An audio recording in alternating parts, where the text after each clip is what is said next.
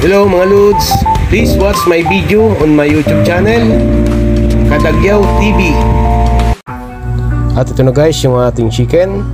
Bali picho, yung part na kinuha natin dito na gagamitin doon sa ating lulutuin. Hihiwain lamang natin ito ng maninipis na katulad nito.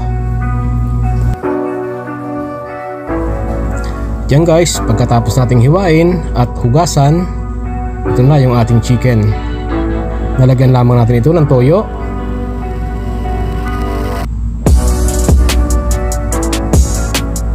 Ganon din ang pamintang durog.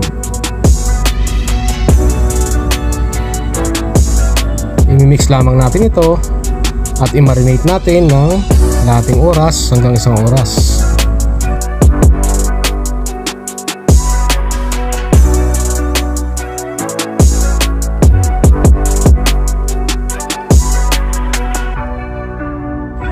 At yan guys, matapos ng isang oras, ito na yung ating minarinate na chicken.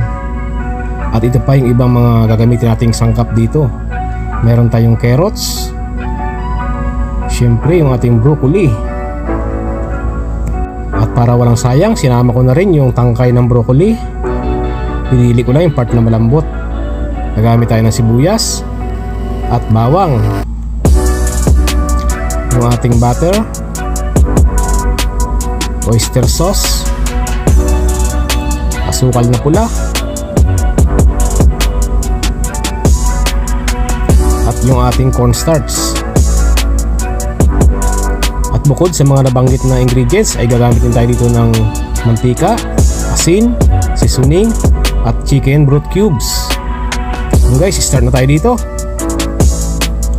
Nagpakulo lamang ng tubig at papakuluan natin dito yung ating gulay unahin natin yung steam ng ating broccoli dahil mas matigas siya compare sa kanyang flour. Siyempre yung ating carrots ganun din. Pakuluan lamang natin ito ng mga isang minuto.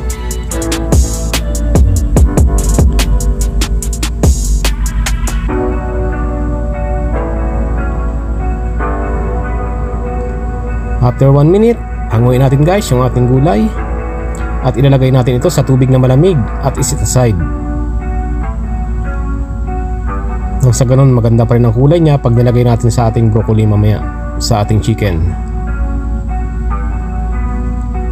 At syempre guys ganun din yung ating broccoli. Ipakuluan din natin ito ng mga 30 seconds.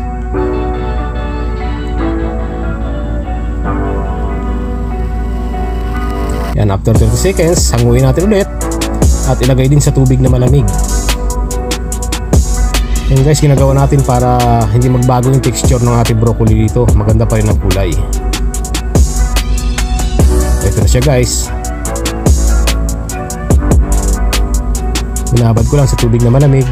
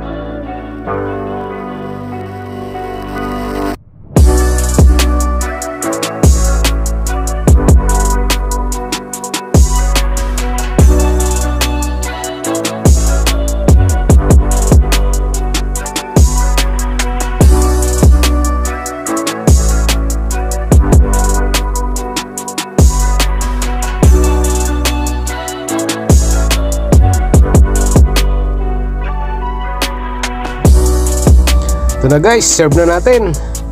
Ito na po yung ating chicken with broccoli and oyster sauce. Napakasarap guys. Kain po tayo mga kadagyaw. Ah, salamat po sa inyong pagtambay dyan at panonood ng ating mga video. At kung bago lang po kayo sa panonood sa channel na ito, huwag niyo po sanang kalimutang mag-like, mag-share at mag-subscribe. At pindutin po yung ating red bell button para update po tayo sa susunod na video. Yung guys, maraming salamat and God bless all.